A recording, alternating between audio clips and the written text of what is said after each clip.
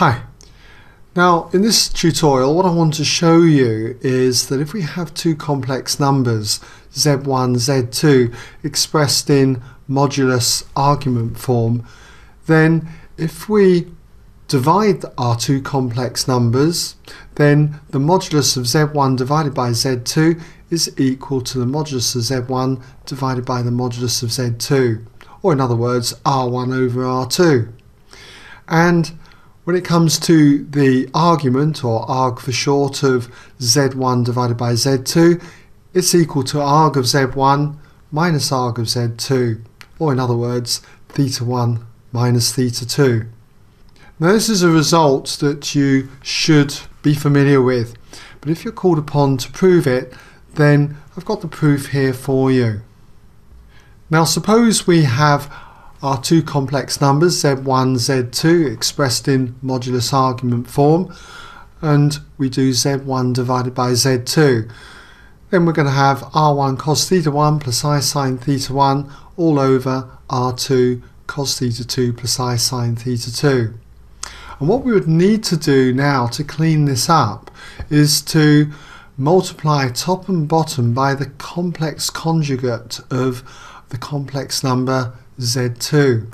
So in other words, we need to multiply top and bottom here by r2, we'll do it on the bottom first, r2 cos theta 2 minus i sine theta 2.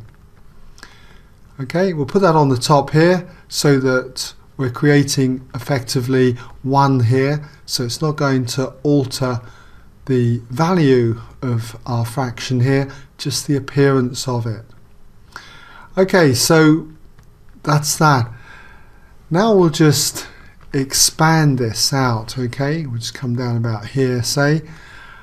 And what have we got? Well, we've got R1 times R2. Let's just put that at the front here. R1, R2. And then we'll have square bracket. And if we multiply out cos theta 1 now with cos theta 2, that's going to give us a real part. Cos theta 1, cos theta 2. We'll also have another real part when we multiply i sine theta 1 with minus i sine theta 2. That's going to be minus i squared times sine theta 1 sine theta 2. Well, minus i squared is going to be plus 1. So we're just going to have plus sine of theta 1 sine theta 2. Okay, so that's the real part. then we get two terms which are imaginary. So we'll just put i there and we'll put the two terms that are imaginary.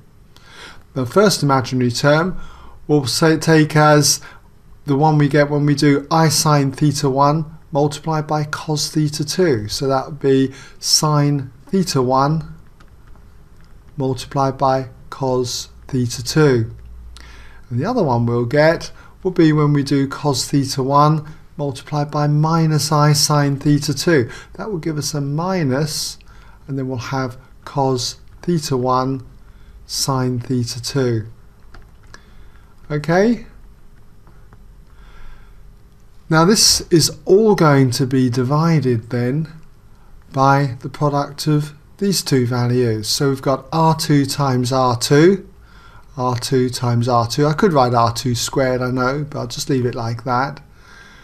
And then if we expand these two brackets, we're going to have cos theta 2 multiplied by another cos theta 2.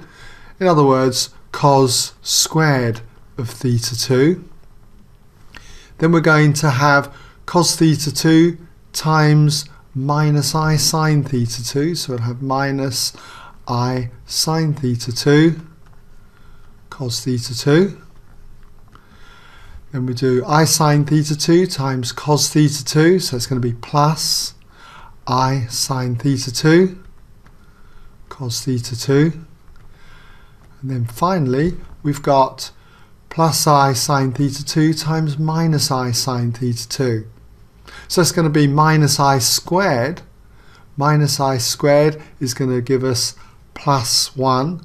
So we're just going to have plus sine theta 2 times the sine theta 2 there, plus sine squared theta 2 then. Okay, now do you recognize any patterns here? Well, if we look at these two terms here, you should recognize that this is the pattern for the identity, the cosine of a minus b, because the cosine of a minus b, cos of a minus b, expands to cos of a, cos b, plus sine a, sine b.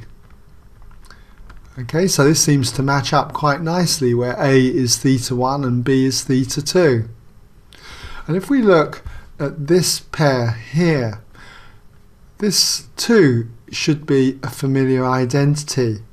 This is the identity for the sine of A minus B.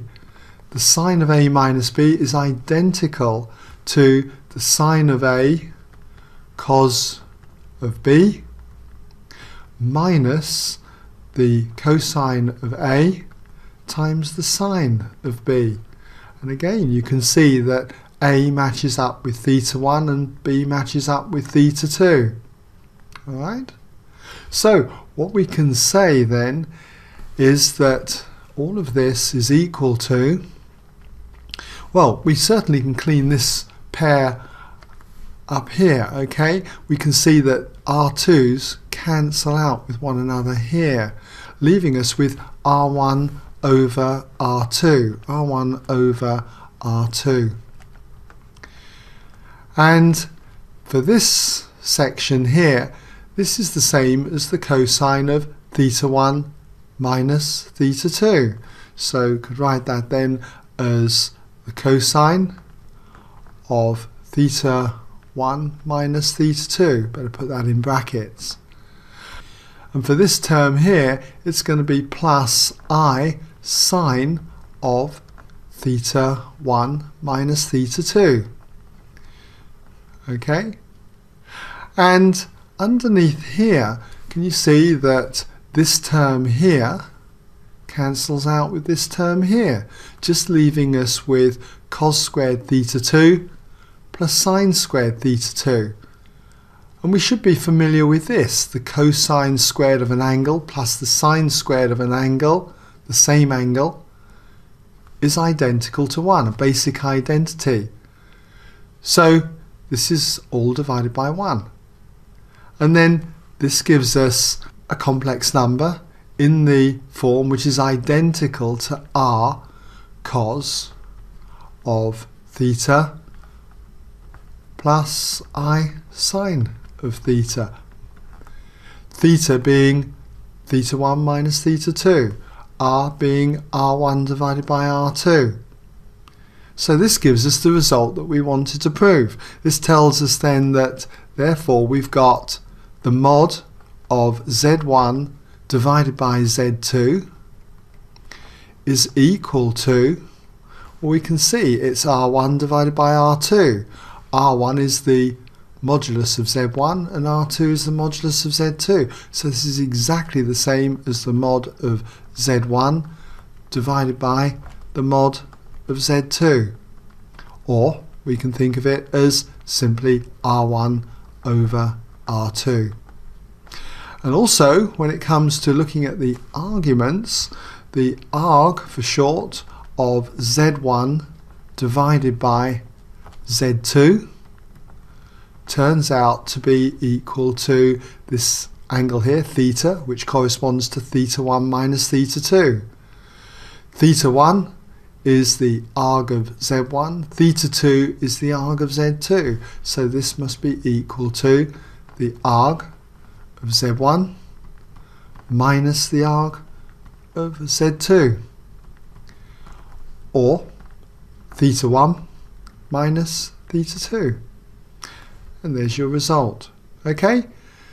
So I hope you've been able to follow my reasoning through there and that brings us to the end of this particular proof.